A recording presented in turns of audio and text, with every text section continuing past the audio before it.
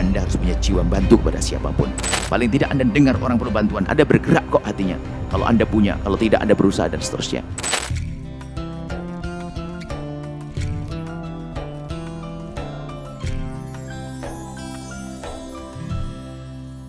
Suatu ketika ada satu orang menikah, tuntutan dari mertuanya.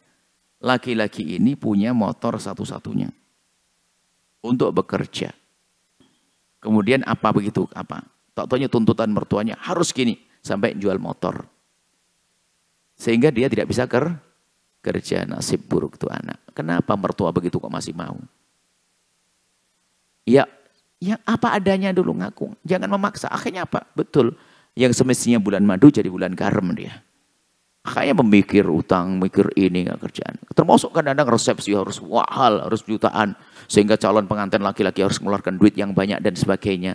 Betul senang-senang dianjurkan. Tapi kalau bikin susah nggak boleh. Sebab model gaya-gaya jahiliyah itu apa? Kayak jual anak perempuan. Tapi Anda sebagai seorang sebagai sebagai manusia tuh bercita-citalah untuk kita itu menolong dan memberi. Ini kadang-kadang kita berpikir kurang cerdas. Sebagai contoh ya ini saya panjangkan sedikit karena Pak ini banyak mertua-mertua yang aneh, adik-adik ipar yang aneh dan sebagainya ya. Eh, adiknya minta. Kadang-kadang iparnya seorang istri, Bu ya. Suami saya itu kalau sama adiknya, hmm, dikit-dikit kasih duit adiknya.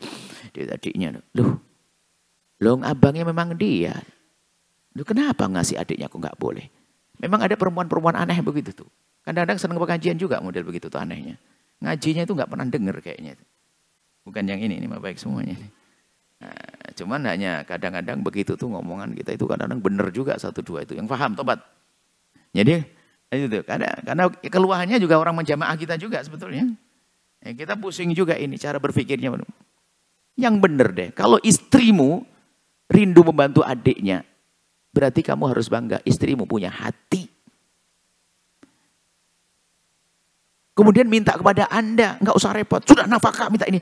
Yang dimintai istrinya, abang, adik perlu bantuan. Oh, jangankan kok adik ipar. Anda harus punya jiwa bantu kepada siapa pun.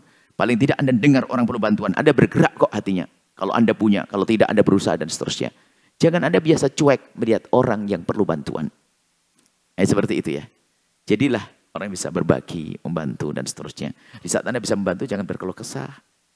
Nah, ada Anda orang kaya sering datangi. Oh, datangi. Saya itu sekarang Buya gara-gara sering lihat saya sedekah. Dikit-dikit ke saya, dikit-dikit ke saya. Kalau dia berpikir cerdas sedikit, Alhamdulillah dong saya jadi tumpuan daripada saya yang suka minta-minta. Kan begitu ya. Alhamdulillah dia datang lagi, pahala, pahala, pahala. Itu loh. Jadi berpikir yang lapang. Apalagi jika sedekah untuk saudara. Kayak tadi itu, untuk saudara. Adik minta nggak apa-apa, cuman kami ingatkan. Jangan biasa jadi benalu. Ada orang jadi benalu. Kerjaannya minta-minta keliling, minta-minta. Wah ini macam-macam. Kadang ustadz juga kerjaan minta-minta. Anak ustadz punya makom keliling minta-minta. Wah ini kacau. Jiwa pengemis itu. Rendah. Sama adik juga itu. Padahal sudah cukup dia. Nggak mau pakai duitnya sendiri.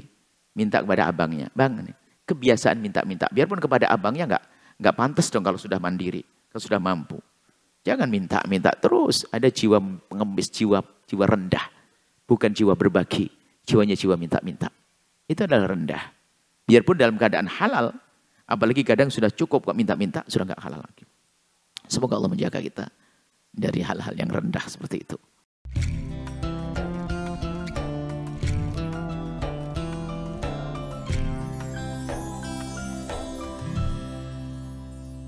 Sahabat Albaja TV, setelah menyaksikan video ini, jangan lupa bersolawat kepada baginda Nabi Muhammad. Sallu ala Nabi Muhammad. Allahumma sholli alaihi wa ala alihi wa